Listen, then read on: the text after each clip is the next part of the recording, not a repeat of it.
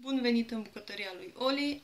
Astăzi vom pregăti o tartă cu cireșe. Așadar, avem aici 3 gălbenușuri, 2 linguri de zahăr pudră. Vom începe prin a le mixa până când se va dubla um, compoziția.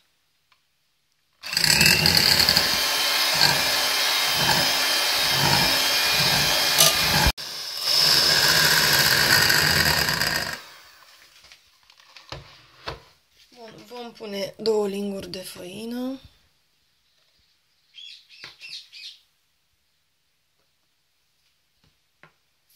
Mixăm în continuare. Uh, am încălzit niște lapte, 250 de ml de lapte și uh, în timp ce mixez îl voi uh, pune pe tot aici.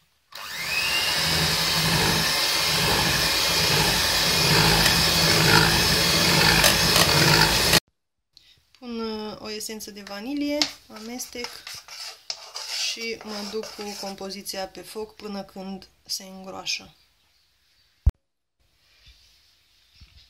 Am aici un pachet de margarină Unirea de 250 de grame.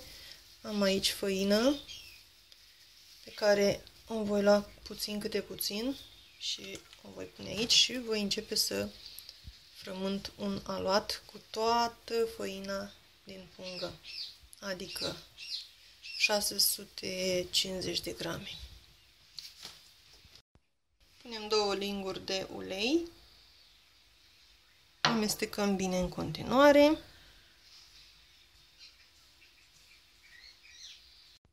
Punem și două ouă și încorporăm bine totul. Am pus, bineînțeles, și un praf de sare. Am rupt o bucată din aluat și îl voi întinde cu ajutorul mâinilor pe tava care deja este unsă. Am întins aluatul uh, pe toată tava, acum punem cremă pe fundul tării și întindem. Punem cireșele care nu mai au, bineînțeles, sâmbure.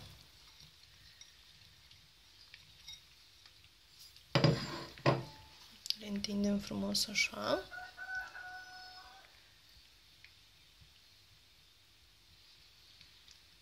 Punem restul de cremă care ne-a mai rămas pe deasupra.